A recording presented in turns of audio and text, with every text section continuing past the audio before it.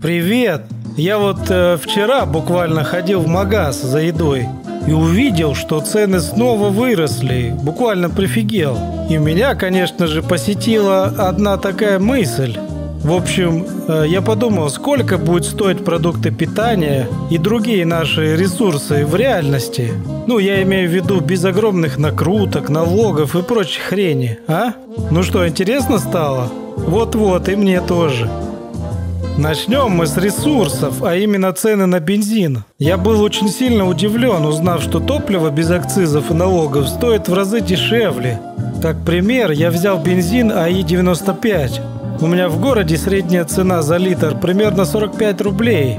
Но если из этой цены вычесть все налоги и прочие вещи, то мы получим цену в районе 17 рублей за литр.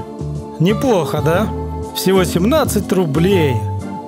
Меня больше шокирует само понимание, что бензин мог бы стоить 17 рублей. И думаю, не только меня это шокирует, особенно автомобилистов, правда? Идем дальше. Следующим важным ресурсом для нас является электричество. Ведь без него вы не смогли бы даже посмотреть вот это видео. Да и вообще существовать без электричества – настоящая проблема. Видимо, этим и пользуются владельцы электростанций. У меня в городе, например, а я живу в Липецке, кто не в курсе, э, цена за киловатт составляет 3,5 рубля. А теперь внимание, себестоимость производства электроэнергии в России составляет в среднем от 30 до 65 копеек. Да-да, вы не ослышались. Все остальное это накрутки и налоги. Ну и, конечно же, газ – у меня в городе, по последним данным, стоимость одного кубометра газа составляет 5 рублей 66 копеек. Так вот, еще в 2016 году компания «Газпром» сама заявила, что себестоимость газа с налогами составляет порядка 20 долларов за 1000 кубометров. И я не думаю, что за два года ситуация кардинально поменялась. Согласны? Давайте чуть-чуть добавим и возьмем даже 30 долларов. Умножаем на 65 рублей – это курс доллара на сегодня. И получаем 1950 рублей за 1000 кубометров. А продают они его нам за 5660 рублей за 1000 кубометров. Прикольно, правда? Получается, что по идее мы должны были платить рубль 90, а платим 5,60. Вот это я понимаю накруточка. С душой, для народа. Ну а теперь давайте пройдемся по продуктам питания. Как раз цена на них меня и побудила создать этот выпуск. Тут просто покажу вам несколько видов продуктов и реальные цены. Ну, адекватные. Начнем мы с хлеба. Так сказать, хлеб всему голова. У меня в городе пуханка хлеба более-менее адекватного ну я имею в виду качество хорошего, стоит порядка 25 рублей за булку, 400 или 500 граммовую. Вычитаем отсюда все налоги и поборы. И в итоге получим стоимость булки хлеба в 12 рублей. Кстати, что еще больше странно, что по всем каналам хвалились о небывалом урожае пшеницы, а значит цена должна быть еще меньше. Но в итоге хлеб почему-то продолжает расти. Хм... Теперь рыба. Это вообще мой любимый продукт. Обожаю рыбу. Кто также любит рыбу, ну-ка давай быстренько лайк ставь. Так вот, э, тут вообще жесть. На прилавках в магазине она стоит порядка 300 рублей за килограмм. А вот, внимание, стоимость добычи уже с налогами и прибылью колеблется в районе 50 рублей за килограмм. Да-да, на примере той же трески ее реальная стоимость в розницу должна быть порядка 80 рублей за килограмм. И это со всеми налогами, надбавками, транспортировкой и прочим.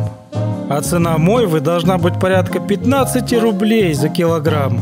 Представляете, какие цены? Рыба, по идее, должна стоить дешевле курицы. Об этом говорят даже сами рыбаки. Тем более в этом году вроде как нереально большой улов рыбы, бьет все рекорды и так далее. Так чего же это я не вижу снижения цены на мою любимую рыбку, а? Эх. Теперь фрукты. На примере яблок. Они почему-то у нас стоят порой дороже даже бананов. Я понимаю, что это сезонный продукт, но все же сейчас цена порядка 50 рублей за килограмм, а реальная стоимость же яблок порядка 14 рублей за килограмм. Следовательно, и соки должны быть копеечные. Да и, блин, обидно, такие огромные территории земли, а яблоки стоят дорого. Конечно же, еще скажу про крупы, точнее крупу, популярную у нас в России. Это гречка. С ней вообще творится черт знает что. Цена постоянно скачет. На сегодня в среднем по России цена колеблется в районе 75 рублей за килограмм. В реальности, как говорят сами же фермеры, стоимость килограмма гречки должна составлять порядка 16 рублей, без накруток. Вот такие вот дела. Сыр, как же без него? Правда, на сыр чаще смотришь как на музейный экспонат из-за его большой цены. То же самое можно сказать и о мясе. Тут примерно расценки одинаковые. Так вот, сыр российский стоит в среднем по России около 450 рублей за килограмм. Так вот, после расчетов получилось, что реальная стоимость без грабительских наценок в районе 190 рублей за килограмм. Что тоже не дешево, но терпимо. В общем, думаю, в целом стало понятно вам, что, как и почему. Я специально не стал вас грузить расчетами, просчетами и прочей финансовой ерундой. Этим пусть занимаются экономисты.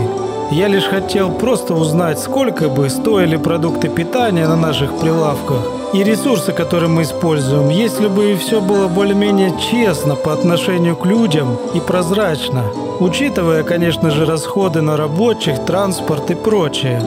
На деле же выходит какой-то полный пипец, я сам реально прифигел, когда начал считать и искать информацию на эту тему. Ставь лайк, если тебе понравился выпуск, и подпишись на канал Bizarre World. Впереди еще много всего интересного и прикольного. Пока-пока!